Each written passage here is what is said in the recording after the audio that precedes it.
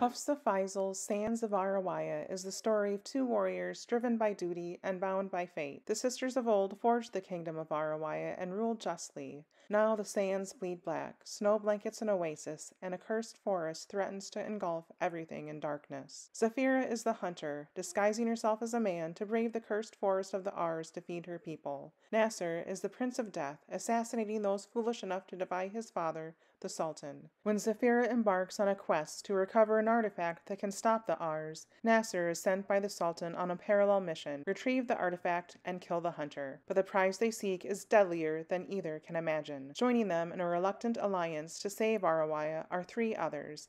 General Altair al Badawi. Charming and intelligent, Altair is wanted by everyone. Kifah Darwish, an elite warrior and lover of all things food, who joins for a chance at revenge. And Benjamin Hadi, an immortal Safin, as vain as they come, who values trust and truth above all else. Inspired by the folklore of Arabia, The Sands of Arawiya is a gripping fantasy duology of discovery, conquering fear, and taking identity into your own hands. We Hunt the Flame is available in our teen print collection on the lower level of the library. We Free the Stars is available in our new print collection in the Commons. Both are available as ebooks and e-audiobooks through Overdrive. Both are also available as e-audiobooks through hoopla.